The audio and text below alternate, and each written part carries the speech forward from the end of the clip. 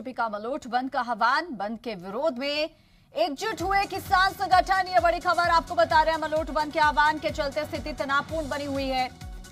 और किसानों के सामने बड़ी संख्या में पुलिस के जवानों की तैनाती भी की गई है। किसानों को रोकने के लिए पुलिस बैरिकेडिंग के साथ यहाँ मौजूद है।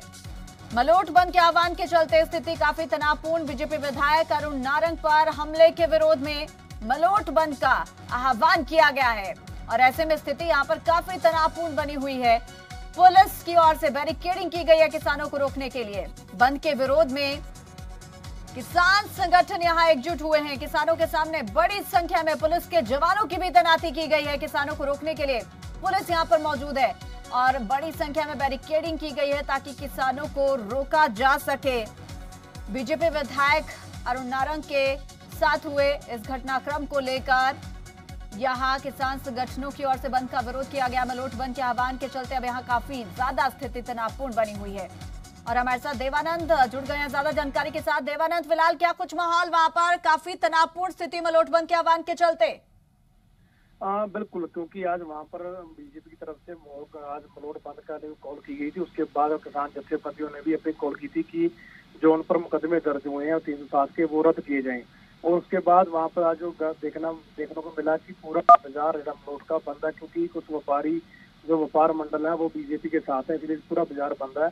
और दूसरी तरफ़ किसान यूनियन के लोग भी इकट्ठा हो चुके हैं तो पुलिस ने बैरिकेडिंग की है। वहाँ पर पुलिस के आला अधिकारी एसएसपी डीएसपी एसपी सब वहाँ पर मौजूद है, क्योंकि पुलिस सभी को बैरिकेडिंग कर वहाँ पर रोक रखा है, और वहीं पर किसानों ने धरना लगा दिया है।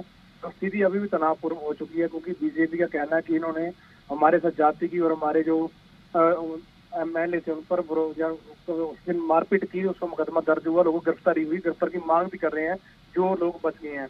लेकिन किसान यूनियन इस चीज़ पर अड़ी है कि वो जो मुकदमे उन पर दर्ज किए गए हैं, उनको रद्द किया जाए।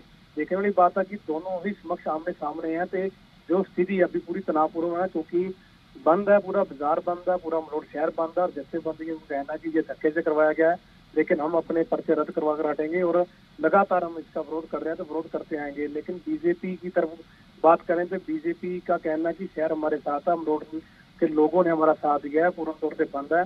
और अब जो इसके बाद ही पता चल पाएगा कि पुलिस और प्रशासन किस नतीजे पर पहुँचता है बाकी गिरफ्तारी कब तक हो सकती है। जी। बिल्कुल देवानंद, क्योंकि माहौल काफ़ी ज़्यादा तनावपूर्ण, जिस तरीके से अरुण नारंग के साथ जो यह घटनाक्रम हुआ, उसके बाद जो यहाँ पर मलोट बंद का आह्वान किया गया है, उसे लेकर क्योंकि एक तरफ़ आज होली का पर्व भी है, ऐसे मौके पर किस तरीके की स्थिति नज़र आ रही है यहाँ पर? हाँ बिल्कुल क्योंकि जैसे आज होली का माहौल है क्योंकि होली आज होली का दिन है लोग होली खेलते हैं वहीं पर लोग हैं अपने घरों में हैं कोई होली नहीं खेलता दिखाई देता क्योंकि पंजाब सरकार की तरफ़ से कहा गया था कि होली के दिन ध्यान रखा जाए सोशल डिस्टेंस रखा जाए और मास्क भी ज़रूरी दिया गया था। लेकिन वहीं पर आज बाज़ार बंद है क्योंकि लोगों का जो त्योहार है होली बच्चों का त्यौहार होता है जिनको रंगों से होली कहते हैं लेकिन वो तो फीका नज़र आ ही रहा है।